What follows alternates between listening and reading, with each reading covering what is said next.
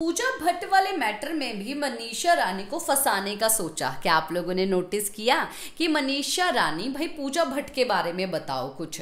जहाँ पर खुले अंदाज से, जिस अंदाज को हमने मनीषा रानी में पसंद किया बिग बॉस ओटीटी में, वहीं पर उस अंदाज में मनीषा रानी ने बोला कि उनको बाहर भी ज्ञानी बोला जाता है। वो काफ़ी ज़्यादा ज्ञान देती हैं, जो कि कुछ ज्ञान जो है काफ़ी अच्छे भी रहते हैं और कुछ ज्ञान काफ़ी ज़्यादा लंबे हो जाते हैं।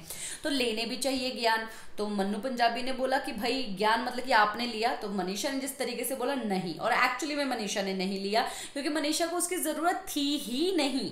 मनीषा को सिर्फ़ मनीषा की ही ज़रूरत थी, और वहाँ पर मनीषा ही वन पीस थी, और मनीषा को ना तो किसी के ज्ञान की ज़रूरत थी, और ना तो अब किसी के ज्ञान की ज़रूरत है। तो मनीषा ने जो साफ़ दिल से बोला ना कि, ना, मैंने तो नहीं ली, और बस ठीक है। तो ये चीज़ें जो है, मनीषा की बहुत ही ज़्यादा अच्छी लगी कि हाँ खुले अंदाज से बोला, और ये भी बात बोली कि हाँ भाई वो उनके साथ कोई भी अगर ऑपोजिट उनकी बात अगर नहीं सुन रहा तो फिर वो गया। वो दुश्मन बन गया। और ये चीज़ होती थी। आप सोचिए, हम बाहर बैठे हुए, जो कि हम सब एंगल से हम लोग देख रहे हैं सब चीज़ें।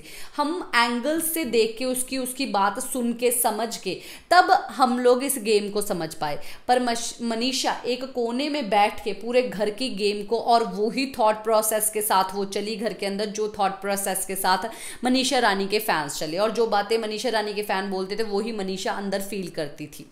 सही बात बोली क्या मैंने? क्या कहते हैं आप? इसी के साथ मैं लेती हूँ इजाज़त नमस्कार।